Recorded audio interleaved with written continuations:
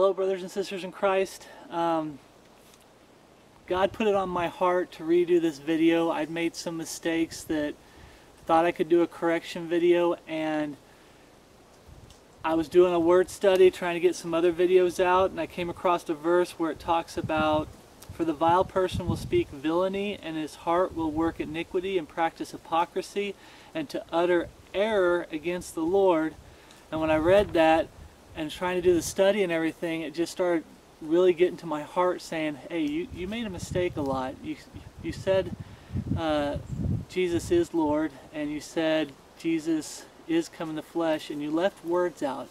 And a main part that was eating at me also, brothers and sisters in Christ, I don't want to fool babes in Christ. I want to do right by the body of Christ, but most importantly, I want to respect God and do what's right by Him. And one of the big parts of this ministry is words have meaning. And when the word is left out, it can change the whole passage. It can change the meaning of everything. So I decided to redo this so I can honor God and do right by my brethren. So can a false convert say Jesus Christ is come in the flesh or Jesus is the Lord. Okay, that's the title. I even got the title messed up when I was doing the video. So if you've already seen the study, um, the only thing I'm adding new real quick is why it's so important I had to redo this study. First let's read uh, 1 John 4, 1 through 6. Okay. Uh, 1 John 1 through 4. I didn't write down um, all the way to 6. So now I got to finagle uh, 1 John 4, 1 through 6. Okay. Beloved, believe not every spirit, but try the spirits whether they are of God, because many false prophets are gone out into the world. The whole point of this study is, is to show that can someone lie and say they believe that Jesus Christ is come in the flesh, or say Jesus is the Lord. The two words that I left out that are so important is the word the for the Lord and Christ for Jesus Christ is come in the flesh. And I said it right, but then I'd say it wrong, and I just don't want to confuse people. Okay? The whole point of this is can someone who's lost make these statements? We got so wrapped up in the, in the challenge, uh, and I got into with some people where it's like, uh, it's supposed to be about us. It's not really about the people who are lost and fakes and frauds. I felt like the video, the first thing I did was reflect on myself. You know, am I saying it right? And I turned around and started saying it wrong. I said it right, then I'd say it wrong. So it's supposed to be a reflection on us first. Uh, judgment must first begin at the house of God. Okay, we're supposed to judge ourselves first, then our brethren. And I had brothers in Christ that did it with love uh, that corrected me on what was going on. They did it with grace. Uh, charity is the best word, uh, with charity. So um, that's what this is about, okay? We're supposed to judge. Spiritual judgments. Verse 2. Hereby know ye the Spirit of God, It's capital S, Spirit of God, means you have the Holy Spirit in you. Every spirit that confesses that Jesus Christ is come in the flesh is of God. Jesus Christ is come in the flesh as of God. And every spirit that confesseth not that Jesus Christ is come in the flesh is not of God. And this is that spirit of Antichrist, whereof ye have heard that it should come, and even now already is in the world. A lot of our studies, we've been preaching and teaching a Jesus or the Jesus. Okay? A lot of the world, a majority, most, almost half the world, uh, believes in a Jesus. They believe in Jesus that is that is Lord, lowercase l Lord. That's why the word the is so important. Uh, someone referred me to one of Brother Brian's old videos and I went back and watched it and it was very convicting. Um, you can't say Jesus is Lord, it has to be Jesus is the Lord. The Lord is singular and it makes that L a capital L. It's not about what's in writing, it's about your talking and what you teach and what you believe and what you live for. Okay? The Lord is important. And we keep talking about how the Antichrist spirit is already in the world. Over half the world believes in a Jesus Christ who is Lord, lowercase l Lord. Uh, they believe in a Jesus Christ who has come in the flesh. A Jesus who is a Lord, not the Lord. And, and that's what's going on here. Verse 4 Ye are God, little children, and have be- overcome them, because greater is he that is in you than he that is in the world. Who's the lowercase g God of this world? Satan. Satan is a counterfeit. He's trying to counterfeit Jesus. That's why it's the Antichrist. The Antichrist spirit is already in the world today. They are of the world, therefore speak they of the world. All these false teachers, because that's what I was asked. I was giving an email was get sent to me by a brother in Christ saying, I don't get it. I've seen these false teachers say this, and yet they teach what's called damnable heresies, doctrines of devils. And how can they say this? Okay? They are of the world, therefore they speak of the world. They might say this, but what are they really confessing with their teachings? They can say one thing and lie to you, as we're going to find out, but then they're going to show their true colors. Out of the abundance of the heart, the mouth speaks. And by what they teach, that's their true confession, what they stand for, how they live their life. Okay? And the world heareth them. Okay? Someone who's very popular. We are of God. He that knoweth God heareth us. This is the test, part of the test. He that heareth, um, he that, I gotta say it right. We are of God. He that knoweth God heareth us. When we try to preach truth, is the Holy Spirit in uh, them bearing witness with our Holy Spirit? Are we of one mind? Or are they fighting absolute truth? We see a lot of fighting more than anything. He that is not of God heareth not us. Hereby know we the spirit of truth and the spirit of error. Okay. So I got a lot of verses. Make sure you have your King James Bible out and you're following along. Okay. Uh, last time I did the video, it got dark last minute. We're going to take our time. Not going to be in a hurry. Jesus Christ is come in the flesh versus Jesus Christ has come in the flesh. And we have Jesus is the Lord, which is correct, versus Jesus is Lord, which I kept screwing up on. Okay, so we have uh, 1 John, we just did that one. 1 Corinthians 12, 3 real quick. Jesus is the Lord. 1 Corinthians 12, 3, if you want to turn there.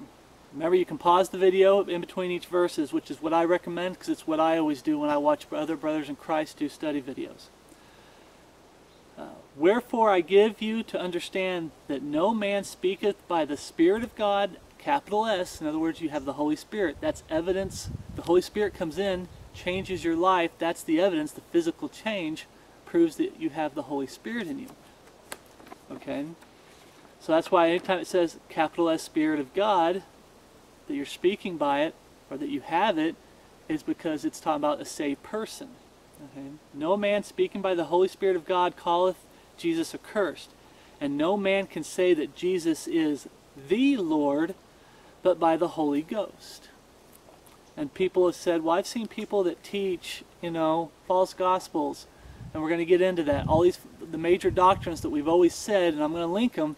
Why are they a salvation issue? We always say that.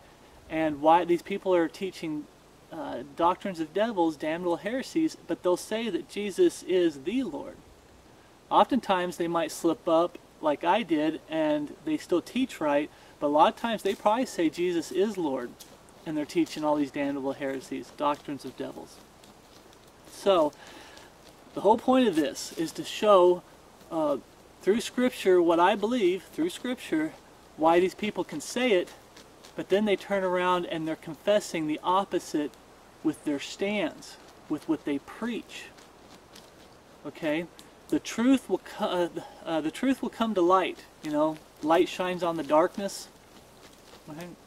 So, we're going to go with salvation when Jesus was walking on the earth. The parts of salvation, please bear with me. Repentance, belief, confession, evidence. Okay? Matthew 3:1. If you want to turn to Matthew 3:1. I read this and we've talked about it in other um, studies, I love the Lord. When we do studies, we're going to go through verses what we've gone through before. Okay, it's good to go over the same verses over and over. Okay, get them in your heart. Okay. Matthew 3 1 In those days came John the Baptist preaching in the wilderness of Judea and saying, Repent ye, for the kingdom of heaven is at hand. There we have our belief. For this is he that was spoken of by the prophet Isaiah, saying, The voice of one crying in the wilderness, Prepare ye the way of the Lord. Once again, that's the belief. That's the uh, prophet Isaiah prophet uh, prophesied. Okay, the we call it the millennial kingdom, but it's the thousand-year reign of Jesus Christ, their King. They're to believe that the kingdom of heaven is at hand, and that Jesus is their Lord and their King. Okay the way of the Lord, that their king is coming. So that's the belief. And the same John had his raiments of camel hair and a leather girdle about his loins, and his meat was locusts and wild honey. Then went out to him Jerusalem and all Judea and all the region round about Jordan, and were baptized of him in Jordan, confessing their sins. So we've got belief and we've got confessing. Keep going. But when he saw many of the Pharisees and Sadducees come to his baptism, he said unto them, O generation of vipers, who hath warned you to flee from the wrath to come? Bring forth therefore fruits, meet for repentance. We've got repentance. What's fruits meet? That's the evidence. So as we read here, we have repentance in here, belief in here, confess, and there's got to be evidence. Fruit, uh, fruits meet that you repented. Okay? Why are we going over the gospel? The whole point of the challenge that Brother Brian did, like I said, you need to reflect on your heart first. Okay, am I saying it right? Do I am I understanding what's really going on here? Okay? It's a salvation issue. That's why the Bible, uh, First John says, um, "Hereby know ye the Spirit of God." In other words, someone who's truly saved versus someone who's lost. Victoria's digging over there. Stop it. That's why, um, Victoria's my dog if you don't know. That is why I'm going over the Gospels real quick, to show you that you have four parts in here. Okay?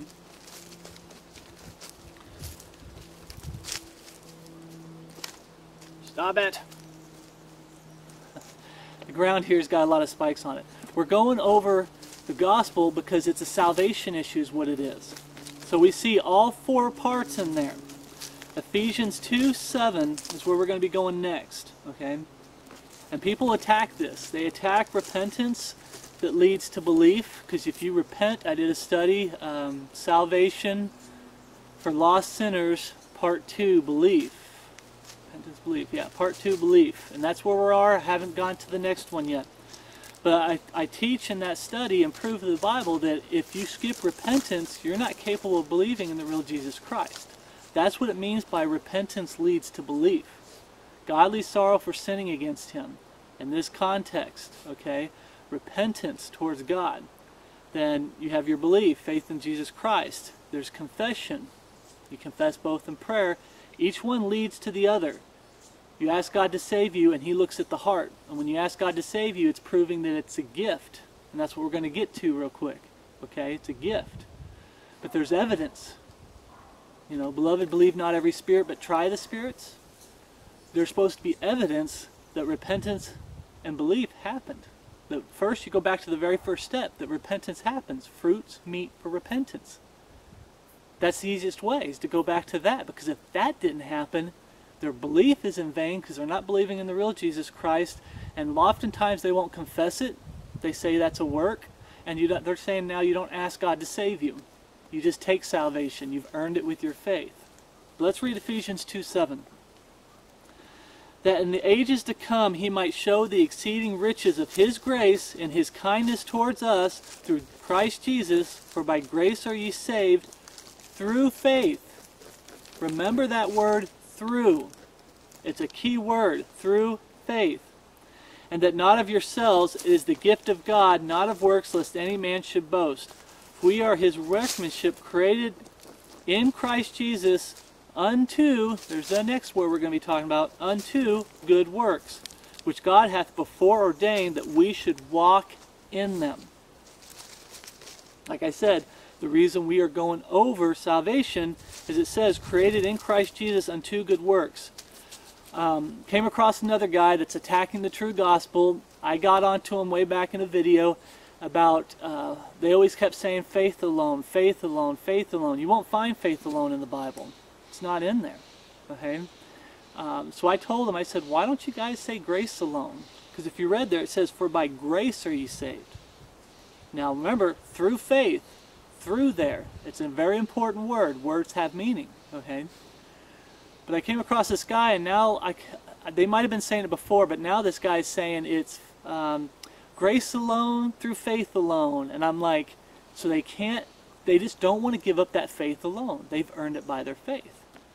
Um, okay, it doesn't say faith alone, it says through faith. And here's the thing they don't like that word through. And we'll show why here in a little bit. They'll say it because they'll say through faith. See, see faith, faith alone, faith alone, faith alone. And they don't really expound on through. Because if they expounded on through the way we are going to do it, it'll prove them wrong. It's not faith, faith alone. It's through faith. Okay? And created in Christ Jesus unto good works. How do you know that that you have God's grace and you've gone through faith? You're created in Christ Jesus unto good works. Okay? Which God hath before ordained that we should walk in them. You're created, we're going to be doing studies in the future about in Christ Jesus. What does it mean to be in Christ Jesus? Okay? So, faith is something you have to go through. Key word through that we talked about. Through, if you look at the um, definition, from the beginning to end, by means of. So you have a beginning where you start, and you have an end. The through is between the two. So for what we're talking about, um, the beginning is the lost state. God's wrath is upon you. You've sinned against God, you're on your way to hell, and God's wrath is upon you. I almost said, and you deserve it. We believe that we deserve it, and I still am deserving of it, but God saved me from it. But the lost world, what is their state? Even though the ones who reject Jesus Christ, who believe in a false Jesus, What's their state? God's wrath is upon them because they've sinned against Him and they're on their way to hell. That's the, where you start at. That's the start. The finish, God's grace. You have to go through something to get God's grace. And the Bible says it's faith. Okay? So, we're going to go back over those four points again. Repentance, belief, confess. Remember what it said there in Ephesians 2, uh, verse uh, 10. Created in Christ Jesus unto good works. You get saved. The evidence of salvation is good works. The changed life. We're going to get to that. I'm jumping ahead a little bit. But the unto means it means almost the same thing as uh, through, except you don't have the state that you were in it's focusing, when it says unto or to, T-O, it's saying you're going to something. Here's the starting point, but unto to to means you're going somewhere, you're trying to find the grace. Okay? Through faith. So, let's see what the Bible says that you the unto and the to part define God's grace. And when we see it, we understand right there it says through faith. So when it says unto salvation or to salvation, it's saying it takes faith to do this. Right? Repentance, 2 Corinthians 7 9. Now I rejoice not that ye were made sorry, but that ye sorrowed to repentance. Okay, sorrow, godly sorrow, which we're going to get to, sorrow, being sorry for sinning against God is what's going to lead you to repenting in your heart, saying, I've sinned against God and I'm on my way to hell. You have to have sorrow. Okay? For we were made sorry after a godly manner, that ye might receive damage by us in nothing. For godly sorrow worketh repentance to salvation, not to be repented of, but the sorrow of the world worketh death. There's the word to. So they like to attack it. these people, remember the whole point of this study is I'm pointing out that when you confess something, what precedes confession? Belief. What precedes belief? Repentance. Before you got saved, you didn't believe that Jesus Christ is come in the flesh. When you were lost, you didn't believe that Jesus is the capital L Lord. You had to get saved. You had to repent of denying God, you know, your sins. But I'm talking about for the purpose we're talking about, you had to come to God and believing that He is and confessing it. And afterwards, there's supposed to be evidence of it. So what we're talking about here, there's supposed to be evidence. That's why we're going through this. Throwing this in here real quick because I want you guys to bear with me for this study. It's going to take a little bit. So as we see there, it takes faith to repent. How do we know that? Because the Bible says we are saved by God's grace through faith. You have to go through something to get to God's grace. It's faith. Here it said you have to go repentance to salvation. Salvation has always been God's grace. God dealing with man and saving him by his grace. That's what salvation has always been. Okay. Different dispensation, God deals with them differently. He, he dispenses his grace differently. We read in the um, about Jesus when he was walking on the earth what the four things were. Okay, we, we pointed it out. Is that the same belief we're supposed to have today? No. But it's still about God's grace, remission of sins, okay? to get pardoned, forgiven. Okay? Um, next, belief. We have belief. Let's see what the Bible says about belief. See, this one they'll jump on and say, oh yeah, we, this one's obvious.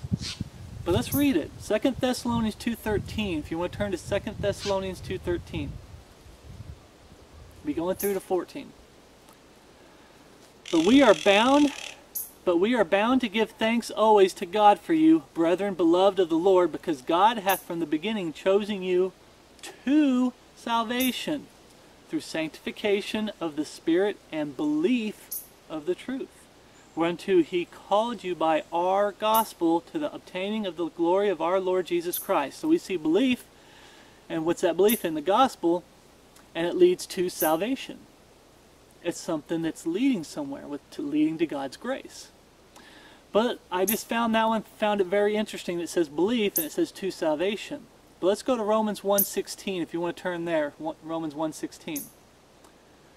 For I am not ashamed of the gospel of Christ, for it is the power of God unto salvation to everyone that believeth, to the Jew first and also to the Greek. Once again, it's saying you're heading to God's grace by your belief in the gospel. So what does this tell us? Through faith. It takes faith to believe. We found out they, they don't like it. They're going to keep fighting it. It takes faith to repent. We're doing a word study that I'm going to get another video out on uh, here in a little bit about repentance throughout the Bible. Has it ever been a work? Because they're trying to say it's works. Has it ever been um, going from unbelief to belief? No. Okay. Has it ever been just admitting that you're a sinner? No, there's got to be some sorrow there to make it true biblical repentance and repent. Okay? Um, so we see belief through faith. Okay, that's the faith. It's one of the parts of the faith. Okay? Confess. Now we're getting on confess. Romans 10:9. Here's how we find out for this study when I came across it again that God said, "Hey, belief and confess go hand in hand." Repent. And I remember the study I, we did together on repent and believe. They go hand in hand. Okay? You can't believe if you didn't repent. You can't confess. Your confession isn't valid if it, you don't believe it. Okay? Let's read this. Romans 10 9 that if thou shalt confess with thy mouth the Lord Jesus and shalt believe in thine heart that God hath raised him from the dead, thou shalt be saved.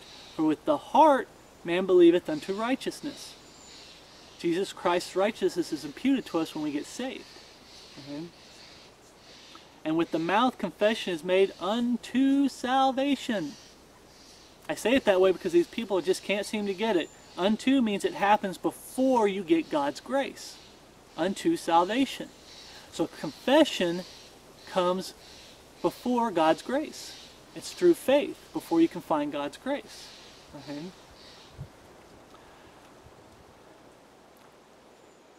So remember, out of the abundance of the heart, the mouth speaks. What's that saying is, is your belief is going to come out. And eventually, through this study, I'm going to show you how these false converts are trying to say that Jesus Christ is come in the flesh, or Jesus is the Lord. Okay? And yet they're teaching bad uh, doctrines of devils. That's because they're confessing. Eventually, out of the abundance of the heart, the mouth speaks. Their true heart gets shown what they really confess and what they really believe when they teach these false doctrines that teach Jesus has come in the flesh. Jesus Christ has come in the flesh. Or Jesus is Lord, and they leave out the singular.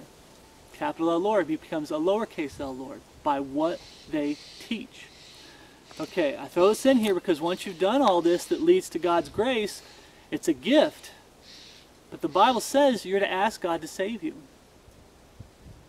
That makes it a gift still. Okay, let's read this real quick. Asking God to save you. Romans 10 13. For whosoever shall call upon the name of the Lord shall be saved. Okay?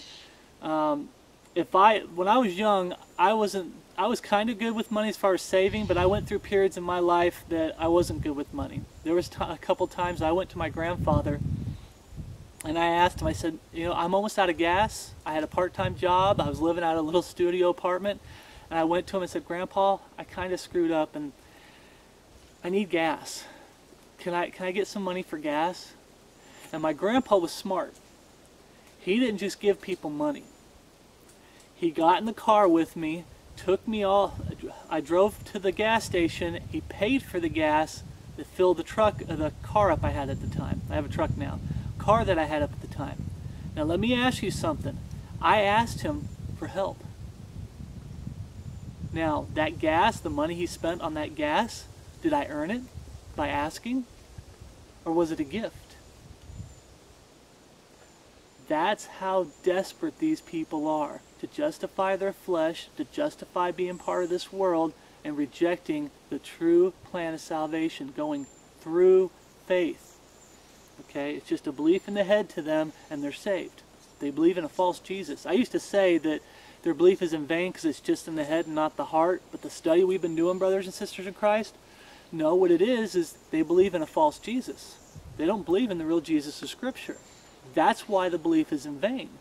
Someone's coming along, and we'll get to that. I don't want to jump ahead, but preaching another Jesus, another gospel, receiving another spirit. So I wanted to go through that before we really get into this the meat of this study. Okay? You have repentance that leads to belief. Belief leads to confessing, and then there's evidence that all that happened. So you have these people just saying it, you know, Jesus Christ is come in the flesh. Does that mean they're saved? Uh, that they have the Holy Spirit in them? Okay? They're going to say, well, the verse does. Yeah, but we're going to get to that. Okay? Confession, and we read, we kept reading on to show that they speak of the world, and the world heareth them. What does the world like to hear? Do they like to hear that Jesus is come in the flesh through your teachings? Or do they like to believe or be taught that Jesus has come in the flesh and you can have the world and keep your flesh? Okay? And live by the flesh. Remember, carnal minded versus spiritually minded, walking after the flesh versus walking after the capital S Spirit. So, I put on here sometimes that, remember what we used to say, brothers and sisters Christ, when someone says, I'm a sinner, and they don't have sorrow for it, they're just stating a fact? They're saying it, but they're just stating a fact. Are they truly confessing it because they truly believe it in their heart? No. Look at the life they live. They, a lot of people reject Jesus Christ because they love their sin. I had someone tell me once that I don't want to get saved, and I asked her, I said, why wouldn't you want to get saved? And she said, because if I, because I want to live life my way. She flat out said that. She said, I want to live life my way. Yeah. Give me just a second. Sliding down a little bit. she said, I want to live life my way. Okay? There's people out there that'll say, yeah, I'm a sinner. She knew, she's like, I'm a sinner. I do things that are wrong. Okay? I screw up. But she wants to live life her way. She loves her sin. And like we've always, like I've taught in the studies I've been teaching, worldly, so we always say repentance is the number, uh, self-righteousness, I'm sorry, self-righteousness is the number one reason people go to hell. Well, I've been learning and studying that worldly sorrow leads to self-righteousness. You don't want to give up your sin, so what do you have to do? Now you have to justify that you're a good person. Well, it's not that big of a deal. I'm a, I'm a good because you love your sin. I'm a good person. I'm not as bad as that person. You have to start finding ways to justify your sin. Worldly sorrow leads to self-righteousness every time. Godly sorrow leads to Jesus' righteousness every time. So, John 8:44. John chapter 8:44. If you want to turn there. Can people lie with their tongue but their heart isn't the same? You know, they're not on the same page. Their heart is not on the same page as their mouth. Okay? Ye are, your, ye are of your father the devil, and the lust of your father ye will do. He was a murderer from the beginning, and abode not in the truth, because there is no truth in him. When he speaketh a lie, he speaketh of his own. For he is a liar and the father of it. And because I tell you the truth, ye believe me not. Satan is the father of lies. Okay? And we're going to get to this next verse. Uh, it talks about ministers of righteousness. His, his ministers are transformed into ministers of righteousness. Okay? He's a father of lies. He likes to take truth and mix lies with it. Okay, someone come out and say, I believe that Jesus Christ is come in the flesh, but then they turn around and teach doctrines of devils that say, that basically teach Jesus Christ has come in the flesh. See, they mix truth with lie, and they're flat out lying to people. And they're getting people to worship the Antichrist, that Antichrist spirit. Okay? 2 Corinthians 11.1. 1. Okay? 2 Corinthians 11.1, 1, this is what we've been going through in a lot of our studies, brothers and sisters of Christ. Would to God you could bear with me a little in my folly, and indeed bear with me, for I am jealous over you with godly jealousy, for I have espoused you to one husband, that I may present you as a chaste virgin to Christ. Now we were reading in Romans chapter 6, I think 1 through 3, where when you're lost, you're married to a husband, the world. Okay? The law of sin and death. Okay? You have a husband. Now, that husband, when that husband dies, you're free to marry a, a new husband. That old husband has to die so you can be married to Jesus Christ. And this is all spiritually speaking. Okay? What's this saying right here? Okay? For I have espoused you to one husband that I may present you a chaste virgin of Christ. Why would Paul say this? Because another husband, they're trying, they're still trying to keep the old husband. He's, the old husband isn't dead. Okay? And we're going to find this out real quick. And they're trying to go to uh, Satan as a false Jesus. But verse uh, 3, But I fear lest by any means as the serpent beguiled Eve through his subtleties, so your mind should be corrupted from the simplicity that is in Christ. Remember the serpent beguiled Eve. What's the serpent? Satan. Okay. For if he that cometh preach another Jesus, whom we have not preached, is that going on in the world today? Or if ye receive another spirit which ye which ye have not received, uh, or another gospel which ye have not accepted, ye might well bear with him. Are, are people receive, preaching another Jesus? Okay, I want to make sure I say that right.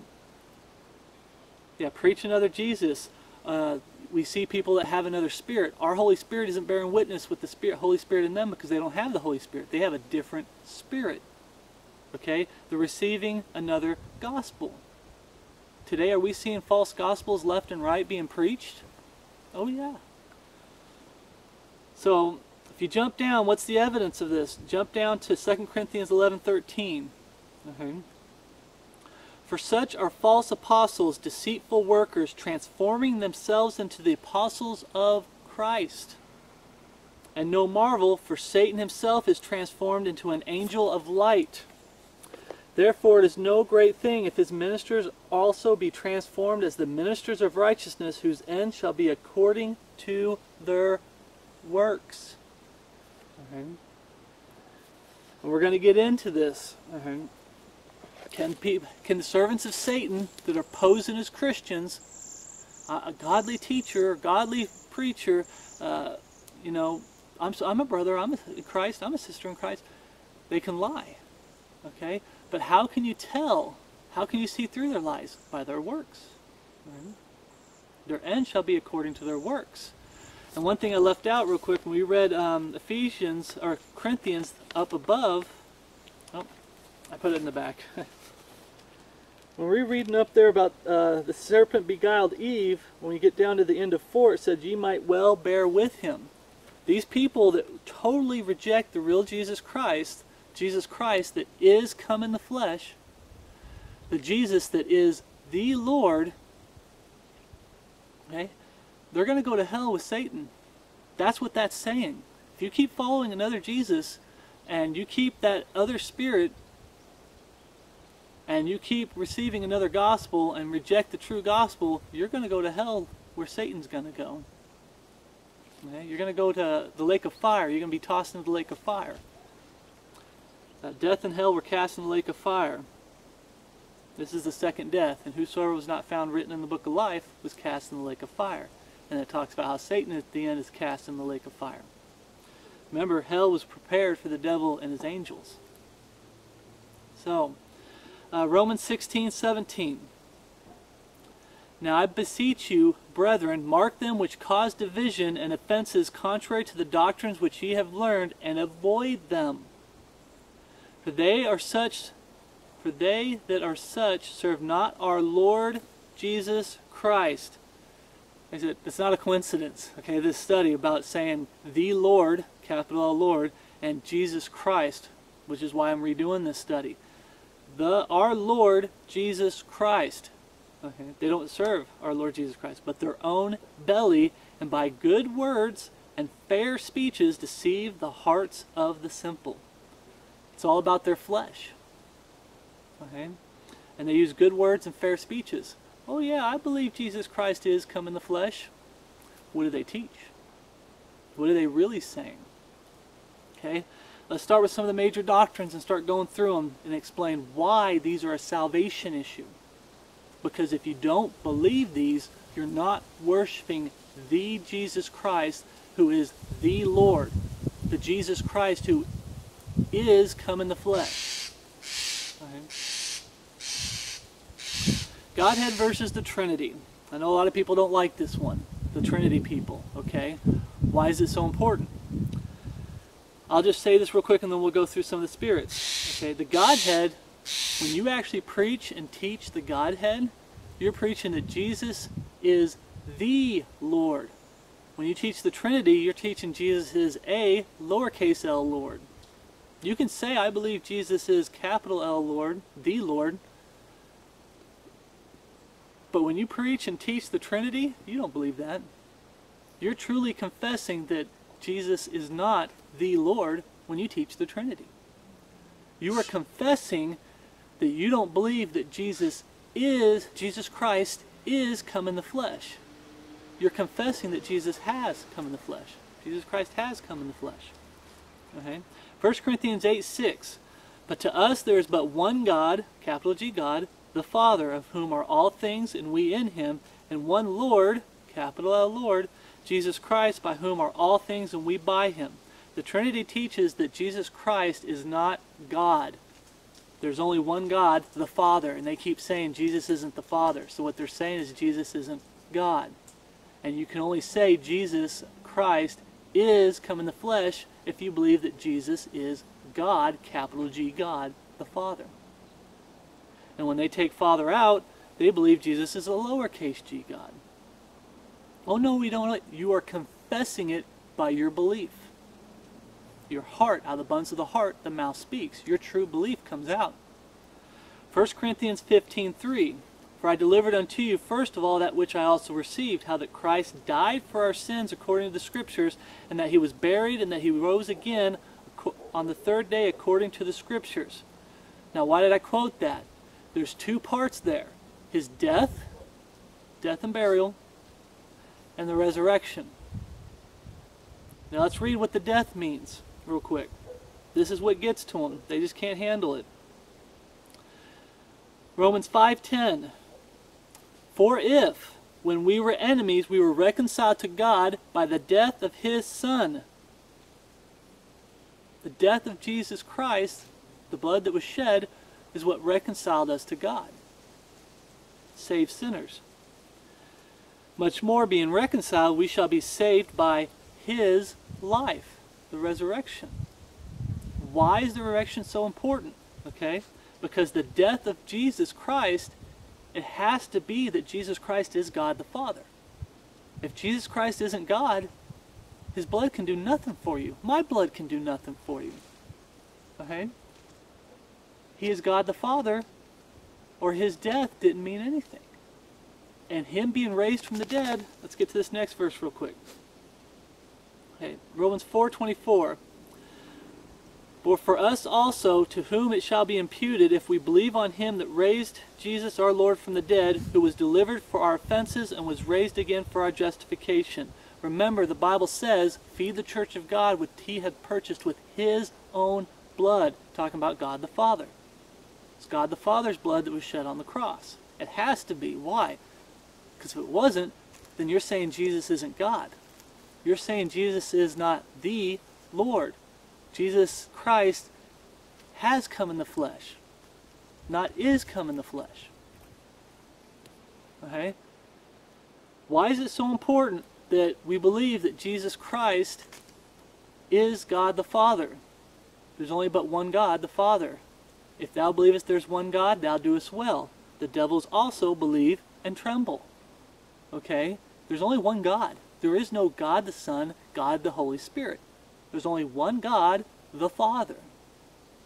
If you don't believe Jesus is the Father, you're saying he's not God, and you're confessing it by what you stand for. Oh, I don't believe Jesus is the Father. Then you are saying that Jesus has come in the flesh. Jesus Christ has come in the flesh. You're saying that Jesus is just a lowercase l Lord when you reject that Jesus Christ is not God the Father. You're saying he's not God. Okay? So raised him up from the dead. Why is that so important? Because Jesus came up from the dead. The Godhead raised Jesus from the dead, proving that Jesus is God fully and completely, and that it was God's blood that was shed on Calvary. I did a study on this, but we'll go through the verses real quick. Um, why is the Godhead important for salvation? God raised Jesus up. Well, let's start with Jesus. Jesus raised himself. People don't like this verse. Jesus raised himself, the Trinity people. John 2.19, Jesus answered and said unto them, Destroy this temple, and in three days I will raise it up. And I forgot to put the next verse where it talks about, he's talking about his body. Not the building, but the temple of his body. Okay? Jesus said he'll raise himself up. Jesus raised himself from the dead on the third day. God raised Jesus up. Galatians 1:1 Paul, an apostle, not of men, neither by man, but by Jesus Christ and God the Father who raised him from the dead. God the Father raised Jesus from the dead? Oh, yes. Amen. Holy Spirit raised Jesus up. 1 Peter 3:18 for Christ also hath once suffered for sins, the just for the unjust, that he might bring us to God, being put to death in the flesh, but quickened by the Spirit. You believe Jesus has come in the flesh, if you don't believe that Jesus is God the Father. Why is it a salvation issue? When someone sits there and they preach the Trinity, they've been told the truth, they've been told, hey, you keep saying God in three persons, let me show you person in the Bible. We're doing a person word study we're trying to get through also. Body, soul, and spirit. A person, to be called a person, has to have a body, a soul, and they have to be living. Spirit. So we look at them and say, hey, it's not God in three persons. Okay? It's Jesus is the only person of the Godhead. It's not God the Son, God the Holy Spirit. It's just God the Father. Jesus is God the Father. And you're turning him into a lowercase g when you say God the Son. Nowhere in Scripture does it say God the Son. Nowhere in Scripture does it say God the Holy Spirit or God the Holy Ghost.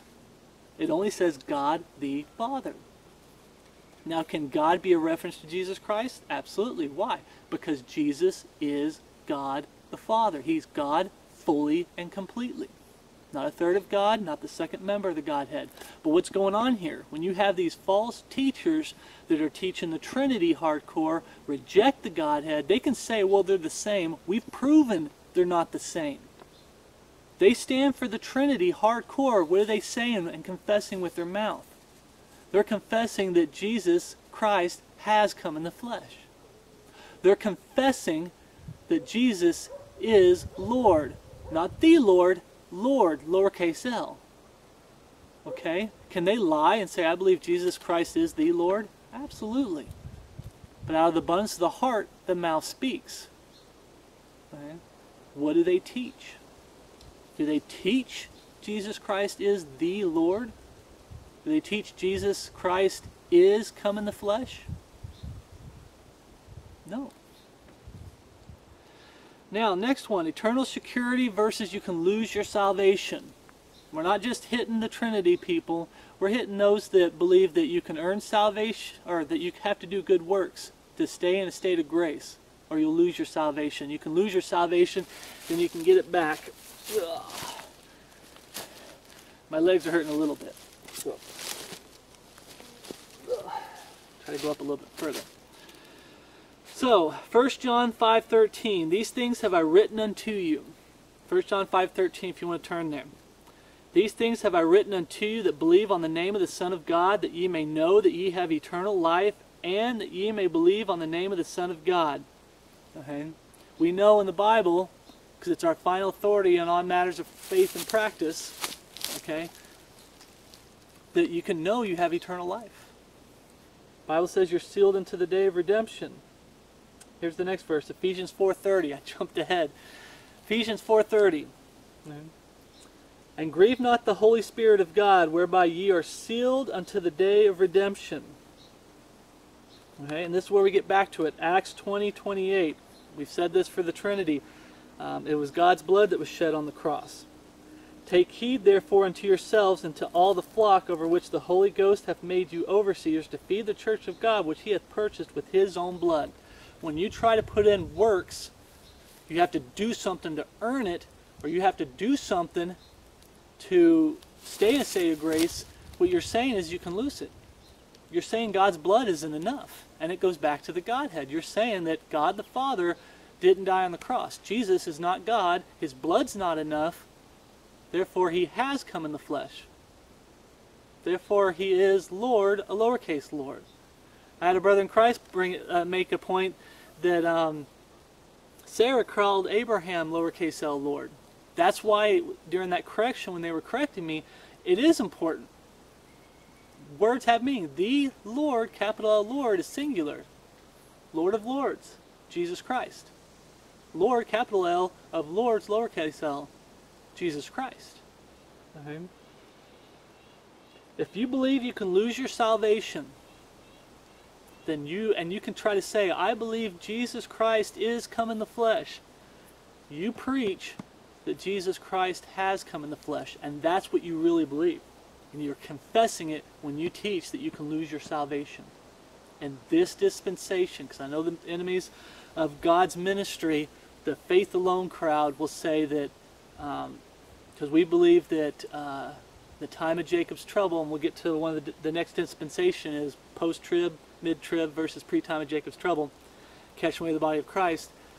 During the time of Jacob's trouble, that seven-year period, you can lose your salvation. It teaches that. But today, from the death of Jesus Christ, remember, that's when we were reconciled to Jesus Christ by the death of his Son and his resurrection.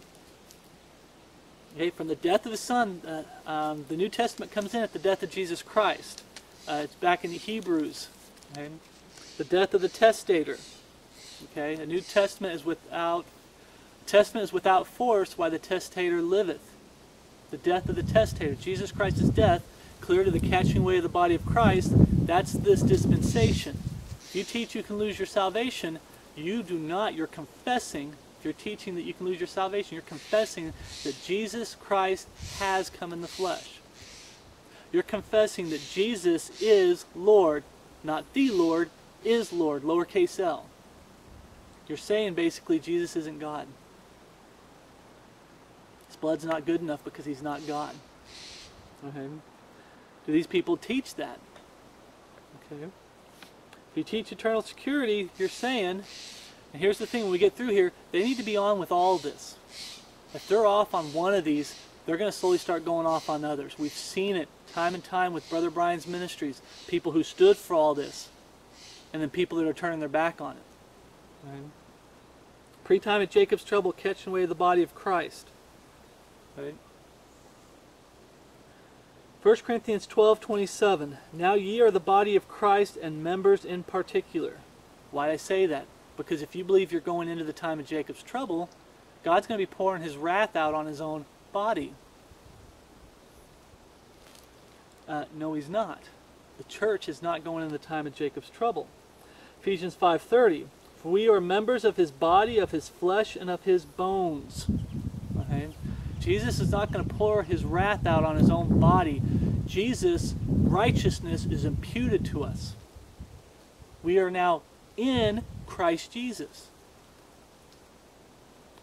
Now, one of the things is, is uh, I'll link a video Brother Brian did called um, The False God of Post-Trib. False God. In other words, they preach a Jesus that has come in the flesh. Jesus that's a Jesus Christ that has come in the flesh, or Jesus that's a lowercase l. They don't believe he's actually God. Because you got to go through a final time, the church has to go through a final time of purification a time period where you can lose your salvation. It goes back to the other one. They're not teaching eternal security. They can say it all they want, but they teach the church goes into the time of Jacob's trouble. They're teaching that you can lose your salvation because you can in the time of Jacob's trouble, but the church isn't going through it. And what I mean by the church, because sometimes church can mean just a called out assembly, what I mean by church is the body of Christ. And in that study, uh, he teaches that God will not pour out his wrath pour his wrath out on the righteous along with the wicked. God won't do that. So if we go through the time of Jacob's trouble, God's righteousness is imputed to us, and God's going to be an unjust God and pour out his wrath on the righteous along with the wicked. You don't worship the same God as this book, King James Bible. You have all these fakes and frauds that hold this book, but they don't truly believe in it. And you can tell by their teachings. Mm -hmm. So you if you teach, and I know we just touched on it, but Brother Brian at King James Video Ministries has a huge playlist on um, a pre-time of Jacob's trouble, uh, and he totally debunks the post and mid-trib. Okay, the Great Tribulation is never a title for that seven-year time period. Today, brothers and sisters in Christ, and a lot of you can attest to it, and if you're new, you should be able to attest to it. You're going to have tribulation today. In that seven year period, the Bible says, In that day there shall be great tribulation. But it's not a title. The title for that seven year period is the time of Jacob's trouble. You want to debunk the whole church going through that time period? All you do is say, What's the proper title for that time period? They will never say the pre-time of Jacob's trouble catching away the body of Christ because then that'll prove them wrong. That that seven-year time period is when God turns back his focus on Israel. Jacob is another word for Israel. Your name is no longer Jacob, but Israel. Okay? So what are they doing? They're teaching that Jesus has come in the flesh. Jesus Christ has come in the flesh. That Jesus is just a lowercase l Lord. They can deny it all they want. That's what they're doing. They're confessing it by what they're teaching. Out of the abundance of the heart, the mouth speaks. They never truly repented. They're lost because the whole thing about this um, challenge that Brian did was to show who's lost and who's saved, who's fakes and who's frauds, and who's true. They never repented and believed in the real Jesus Christ that is come in the flesh, the real Jesus that is the Lord, capital L Lord. Mm -hmm. Now, the true gospel versus the false gospel.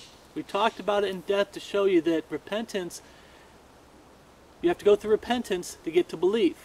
You go through belief to get to confess. Okay? And then there's supposed to be evidence. What's their evidence that they believe that Jesus Christ is come in the flesh, do they teach the Godhead? No. Then they don't believe Jesus Christ is come in the flesh. That Jesus is the Lord. Do they teach eternal security?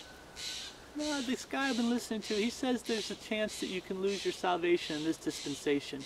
Or he says you have to do good works to merit salvation. Then he doesn't believe Jesus Christ is come in the flesh. The heart comes out with his teachings. He's lying to you if he says he does, and then he turns around and teaches you can lose your salvation. He's lying to you if he says it and then turns around and teaches the Trinity. Even after being told the truth, there's people out there that believe the Godhead, but they're using Trinity terms and they refuse to let it go. And part of me just goes, that's got to be a red flag to me. If they have the Holy Spirit in them, God will break them to drop that pride and get them to say, okay, capital T Trinity is not a title for God in the Bible. Where did Trinity come from? The Catholic Church coined the name and phrase Trinity. Uh, three persons isn't in the Bible. We need to just use what's in the Bible. Stop adding traditions of men and words of men to the Bible. Okay? And notice I say catching away the body of Christ. I don't say rapture. Okay? Why? You look up the definition of rapture. That means taken with violence, by force. Is that what's going to happen? Oh, God's to call me. I got to run. You can't get me, Lord. You can't get. Don't don't touch me, Lord. I, I, I, and He's got to take you with violence and by force. Is that what's to happen? I don't use repent. Uh, I don't use uh, rapture. Okay, it's caught up. Something bad's about to happen here, and God catches us because we're gonna, like, as if you're gonna fall, like we're gonna trip, and it's time of Jacob's trouble, and God catches us and says, "No, you're not going through that." And he pulls us up and we're going to be like praise the lord take us up. I look forward to that day that blessed hope. Words have meaning. You need to try to do your best to get some of those vocabulary out of your uh, some of those words out of your vocabulary when it comes to trying to say the bible teaches it. So like i said the gospel do they teach the true gospel? Repentance towards god godly sorrow for sinning against him and understanding with your heart that you're on your way to hell and you deserve to go to hell. Lord, I deserve to go to hell. I'm so sorry that I've sinned against you, that my life is the way it is. It's a mess. Lord, what can I do? I'm going to hell. I don't want to go to hell. Lord, I'm so sorry. What do I do? Do they say that there's no repentance? Then they're teaching that Jesus Christ has come in the flesh. They teach the belief in the finished work of Jesus Christ on the cross. Jesus, who died on the cross, is God fully and completely. Well, no, he's, he's a third of God or a second member of God. Then they don't believe that Jesus Christ is come in the flesh. That Jesus is the Lord. Do they take prayer out of it? They say that you're not supposed to confess. The Bible tells you that you're supposed to confess. It takes faith to repent faith to believe, faith to confess both your repentance and belief to the Lord in prayer to show that you're not ashamed. They say you don't even have to ask God to save you. It says through faith. What's the through part? Repentance, belief, confess. It takes faith to do all those. It says unto or to. Are they messing with the gospel and getting you to try to accept a different gospel than what Paul preached? They attack Romans and say Romans really isn't for today. Okay. What are they teaching? They're teaching a different Jesus, a Jesus who is not God. Okay. And then another big thing, the King James Bible versus the Bible perversions. Okay. This is one that's the first thing. When I tell people, they, always said, what about this guy? What do you think about this guy? I always hit them up and say, hey, first thing is, what Bible does he use? Well, he uses a Bible perversion. Stay away from him. In those videos, birds are going a little crazy. I will link the Bible version issue to them, and I'll link the gospel, because you're only going to find the true gospel in the King James Bible. So I'll link the Bible version issue and the gospel, and if they keep rejecting it, stay away from them you have someone that says, oh, well, he uses a King James Bible. I'm like, okay, he uses a King James Bible. In his teachings, does he correct the Bible? Does he go outside the Bible to prove his teachings? Stay away from him. He's not a Bible believer. Uh-huh. So that's the first thing I asked him. And the second thing I asked him is, what gospel does he preach? Have you listened to his um, testimony? I always tell brothers and sisters in Christ, your testimony needs to be your lost life, how wicked of a sinner you were, how you became broken, you know, sorrow for sinning against God, repentance, preaching the true gospel. That's your when you're given a testimony, it's your opportunity to preach. We're all given, uh, we're all part of the ministry of reconciliation. You get a chance to preach the gospel when you do a video or when you give your testimony to somebody. Then afterwards, you tell them about the changed life? Do you tell them how God changed your life and cleaned up your life? That is the best testimony you're ever going to hear. And most oftentimes, almost 100%, truly saved. When you, I asked him that, he said, well, you know, um, there's a guy, Robert Breaker, that's supposed to be this great King James Bible teacher. And you talk to him and you listen to his testimony. Oh, I just only believe. I just believed, and I'm saved. He skips so much. Why? Because he rejects repentance. He rejects prayer. Confessing both in prayer and asking God to save you. Okay? He's not saved. That's not a testimony of someone who's saved. And I've come across a lot of people's testimonies that are like that. Well, you know, I just, I just believe in Jesus Christ. I, I believe in the blood atonement. I plead the blood. You know, I'm trusting the blood. Peter Ruckman, they said it a lot, trust in the blood. But Peter Ruckman taught repentance and belief in the finished work of Jesus Christ. He taught prayer. You confess both in prayer. Ask God to save you. But you got these people that take a lot of that out and just trust the blood. That's all you have to do. So I'll tell them that. Those are the first two things. Then, uh, most oftentimes, the rest of it, they don't teach, they don't truly believe in the King James Bible. Like I said, they go, they keep correcting it or going outside of it, because you have to go outside of it to prove mid and post trib. You have to go outside of it to prove the Trinity. You have to go outside the Bible and chop it up and correct the Bible to prove you can lose your salvation in this dispensation. Okay?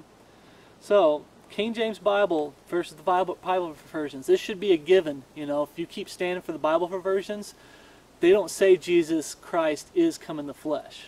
Okay? 1 John 4, 1 through 3 in the NIV.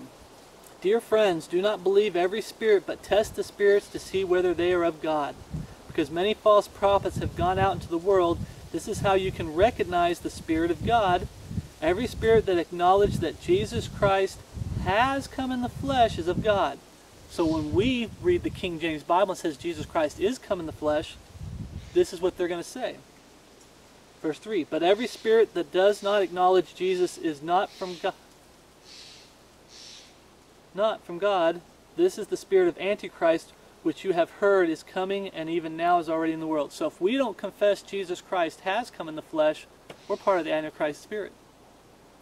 King James Bible says Jesus Christ is come in the flesh. So if you have an NIV and you're watching this, you have an Antichrist spirit book. It's a satanic book. And it also can be traced back to the Vatican. It's a Catholic Bible. The NASB, 1 John 4 1. Beloved, do not believe every spirit, but test the spirits to see whether they are from God, because many false prophets have gone out into the world. By this you know the Spirit of God. Every spirit that confesses that Jesus Christ has come in the flesh is, of God, is from God. And every spirit that does not confess Jesus is not from God. This is the spirit of Antichrist, of which you have heard that is coming and now is already in the world. Once again, if you don't confess Jesus Christ has come in the flesh, you're not saved according to these Bible perversions. And that's preaching a Jesus that isn't God. Is come in the flesh. Is. At any time you can say is. Remember the Bible says what he said before Abraham was, I am. Who, where were you in the past? I am. Present, I am. Future, I am. Same thing with is in the flesh. Glory in the past is, is in the flesh. Present is in the flesh. Future is in the flesh. No matter what timeline you're on in history, is in the flesh means you exist. Jesus was there at the very beginning. Uh, John 1, chapter 1, in the beginning there was the Word, and the Word was God, and the Word was with, and in the beginning there was the Word, and the Word was with God, and the Word was God. Capital W Word is Jesus Christ, the manifest Word. He's there from the beginning all the way to the end. Alpha and Omega. That's what the importance is on saying is come in the flesh, not has. Okay? I'll read the message, but it's kind of hard sometimes to follow the message because it is so. I think the whole point of it is to confuse people. When I went to Bible college, when I was lost, false convert, they forced us to buy the message. Mm-hmm. 1 John 4 1 My dear friends, my dear friends, don't believe everything you hear. Mm-hmm. Carefully weigh and examine what people tell you. Not everyone who walks about God comes from God. Walks about God? There are a lot of lying preachers loose in the world. Here's how you test for the genuine Spirit of God.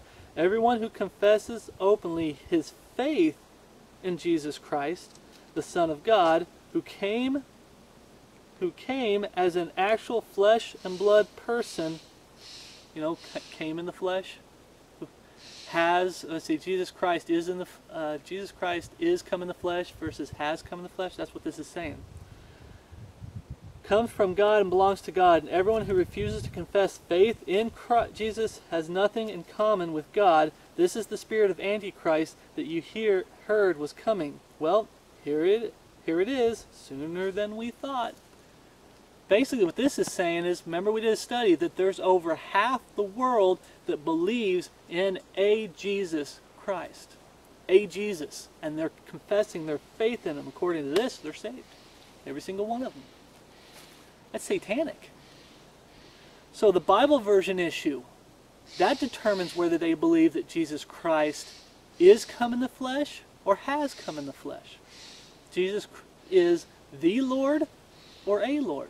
Or Jesus is Lord, just a lowercase l Lord, just like anyone else. Okay? So, hopefully for this uh, study, like I said, I redid it, I had brothers convict me, I had the Holy Spirit convict me.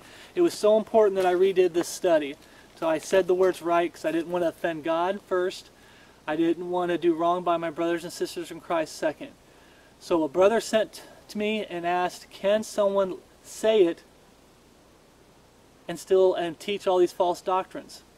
Yes, someone can lie to you and say, I believe Jesus Christ is come in the flesh, but out of the abundance of the heart, the mouth speaks. They teach falsely on any one of these major doctrines. They're confessing that Jesus has come in the flesh. Okay? People can lie. So that challenge Brother Brian did, I keep telling people, I told people in the comments, listen, who cares what the lost people are doing? Yes, we're supposed to warn the brethren about false converts, wolves in sheep's clothing. But the videos are supposed to be for saved sinners. And I believe they are, and Brian would agree, there are. They're for saved sinners. To let us know what you know what's true, what's false. First person I started talking to talked to the Lord, but the first conviction came here. Am I saying it right? Am I doing it right? Is this what I believe? You go down through all the major doctrines, am I believing that Jesus Christ is come in the flesh? Okay, I believe the Godhead. That's Jesus Christ is come in the flesh. Uh, I believe in eternal security. That's Jesus Christ is come in the flesh. I believe in the pre-time of Jacob's trouble catching away the body of Christ. That's Jesus Christ is come in the flesh. I have a King James Bible that teaches Jesus Christ is come in the flesh, and I believe this is God's perfect written word. I believe Jesus Christ is come in the flesh. I'm saved. I believe in the true gospel. I almost left that out. The true gospel. Am I believing in the true gospel that preaches and teaches that Jesus Christ is come in the flesh? Or am I believing a false gospel? No, I believe the real gospel. Repentance towards God, faith in our Lord Jesus Christ, confess Him both in prayer and ask God to save you. I've done those things. I believe in it. The Bible talks about obeying the gospel, standing for it, saying, This is the gospel, I'm not backing down. Yep, I believe Jesus Christ is come in the flesh. You believe all those major doctrines I just said, this, the true doctrines, then you believe Jesus Christ is come in the flesh. So I just want to throw that out here. So we're going to get back to some of our other studies that we've been doing. Uh, I'm waiting on the uh, chalkboard to come in so I can continue our study on um, can a Christian be carnally minded? Okay. So I'm going to do a couple word studies, and I will see you in the next studies. Thank you again, brothers in Christ, that were correcting me. Thank you. Correction is good. So grace and peace from God our Father and our Lord Jesus Christ be with you, and my love for you in Christ Jesus.